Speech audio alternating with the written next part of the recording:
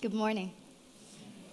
It's such an honor to be here and to be speaking to so many people who can create change instantaneously, particularly around the domains that I'm going to be speaking about today education and fashion. I was four years old when I decided that I wanted to be a primary school teacher. For anybody American in the room, an elementary school teacher. When I came home from my first day of school and told my parents that this is what I wanted to do, they were incredibly supportive. Their immediate response was, Yes, amazing, absolutely.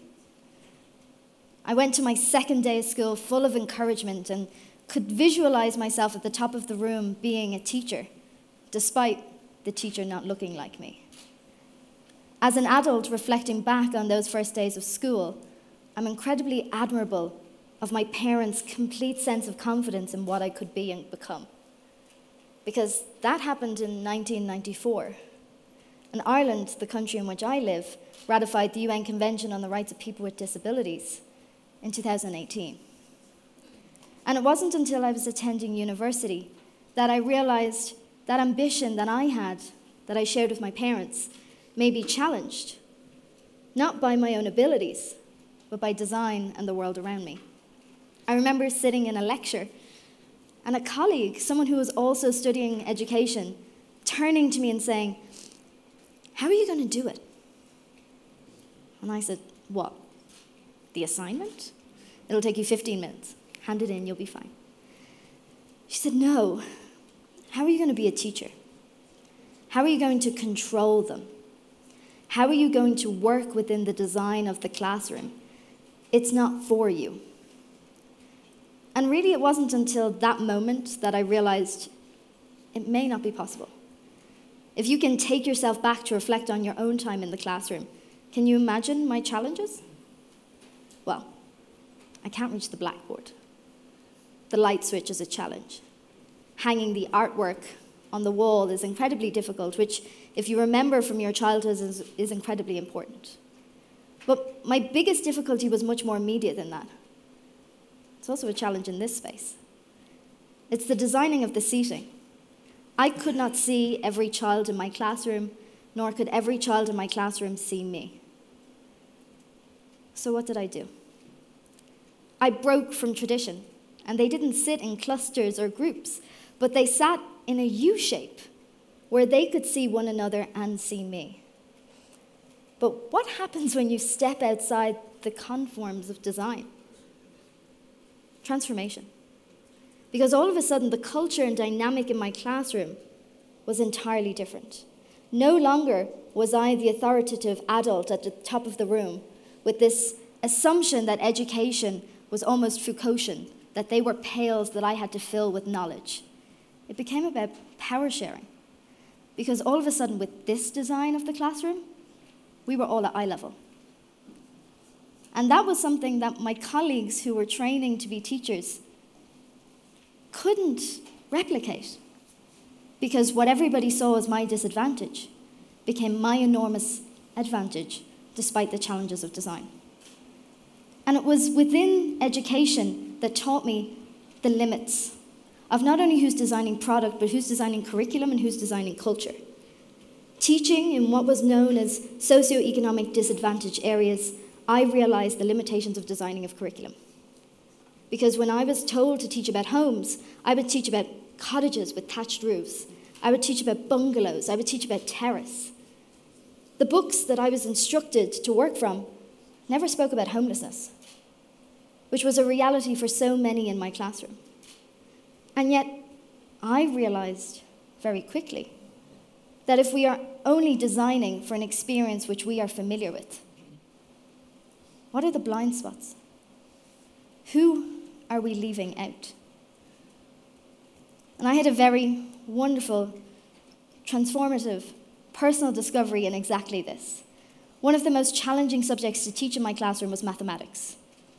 The boys and girls who I taught didn't feel like it was a subject that they could easily interact with, primarily because the language was inaccessible to them. So I taught maths through the local takeout menu and told them the story of Snow White and the Seven Dwarfs, which, as a disabled woman with dwarfism, They were unsure as to where I was taking that narrative. But I told them that Snow White and Prince Charming had left to go on a last minute date, and we had 60 euro by which we had to calculate and work out all of the different menu requirements from the Seven Dwarfs. One was paleo, one was vegan, because it's January, three were vegetarian, complicating the arithmetic for those who were independently able, whilst it gave me an opportunity to sit with those who were really challenged by the material. And I learned one very important thing. I said, okay, well, let's just work out the chips. And one boy who really struggled academically said to me, okay, great. Well, one bag of chips is 250, two bags of chips is 5 euro. And if anybody is a teacher or a parent in the room that moment when a child understands multiplication, it's just sensational. And I wrote down the multiplication, and he looked at me like I was bananas. And he said, What are you doing? I said, That's what you just did. You just did multiplication, you did maths. And he said, I didn't do maths, I did dinner. and we, as adults in this room and very privileged space, can laugh at that. But he was being entirely sincere because he did not see the relevance of his reality mirrored in any way the design of the curriculum or the design of the classroom. So, how could he see it as an opportunity in which he could be a success? And in many ways, the education system taught me that design wasn't just unique in terms of its challenges and limitations of me as a disabled woman, but it framed my thinking when it came to not only teaching, but also fashion. I stand at the height of three foot five inches tall and am completely enamored by the power of fashion. It is the one industry in which we each have to legally interact with. We all must wear clothes. And yet, as a disabled woman, I felt completely lost within the landscape. I would go shopping with my siblings or with my friends, and as you can see from this image alone, could not reach so many of the items that exist. I was never considered within the design process, be it at the rails, in the changing room, at the height of the cash register. But it is not just within the retail space and design alone that I'm not considered, but in the entire ecosystem in fashion. I love clothes. But at three foot five inches tall, if you pass me in the corridors of the Congress Center, you may mistake me for a child. However, today I'm wearing full length custom Gucci. It is unlikely you will mistake me for a child. and that is the power of fashion. But what does the fashion industry need to do to change? Because in many ways the system is enormous and it seems very difficult to transform. Do we need models and lines that are just designed specifically for disabled people? I really don't feel that's a long term solution. What I need on a very individual basis is something most of us in this room need alterations. As you can see, this coat doesn't entirely fit. But what about if we start to deconstruct it? Literally. What about if we take some more off? And for good effect, add a crown. Now, this is not a coat that I can wear every day. These are beautiful images by the incredible fashion photographer Tim Walker for the print issue of the Business of Fashion. But the ecosystem of the fashion industry is taking steps forward but it needs to change at every level. We need to be encouraging design students that there is not just one body type that is a good body or is the right body in which needs to be designed for. How can we encourage creativity and curiosity among design students? How do we make sure that disabled people feel that fashion is not just an industry that they can participate in as consumers, but also as employees? As a disabled woman, I like to describe myself as organized, creative, curious, and articulate. Those are four skills that I developed not just out of personal interest, but for survival. From the earliest of age, I've been having to manipulate architecture and design in order for my independence. For just a second, think within this space alone how I would have to mitigate that. Perhaps it's in the design of public restrooms, and I cannot reach the lock on the cubicle door so, over the course of the next few days, you may see me approaching you and asking you for assistance or for help.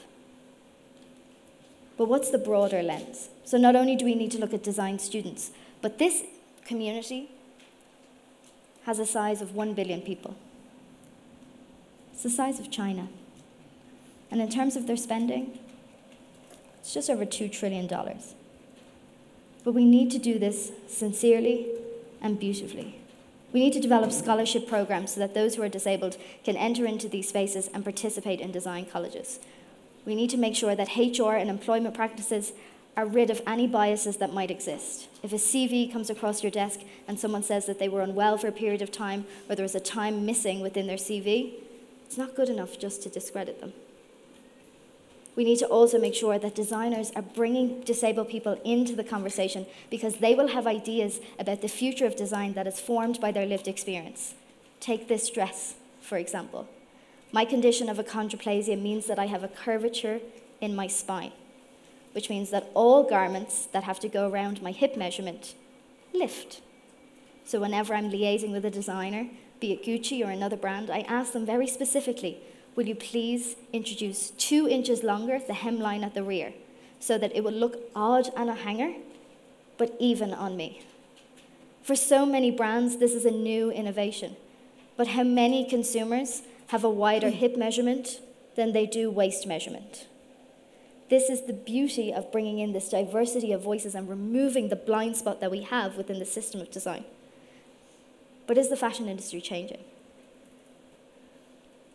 Earlier this year, I was very fortunate to receive the Leadership Award at the Green Carpet Fashion Awards in Milan, and this is on stage at La Scala.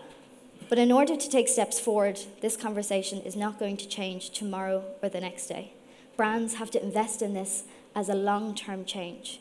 Because one of the greatest challenges that has been for the advancement of this conversation is that disabled voices have just not been included. But what do we need?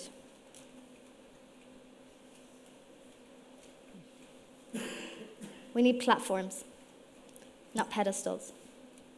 We need the design communities, be it in architecture, fashion, education, and society as a whole, to open up the privileged spaces and to welcome the diversity of voices that exists within our society to be included in the conversation. We need to value their contributions, their lived experience, and continuously ask the question who is not in the room? And what I would ask you in the audience is who is not in the room. I'm very grateful to all of you who have taken this moment this morning so early within the very first day of the Davos schedule. But I would ask you, from whatever you learn from this session, to be empowered to be an advocate and an ally, and have this discussion as you meander through the corridors and meet people who can create change tomorrow, if not the next day. I need you to ask who is not in this room and who is not in the rooms as you go back to wherever you work and exist. because the only way in which change can happen is if we all do this together. Thank you very much.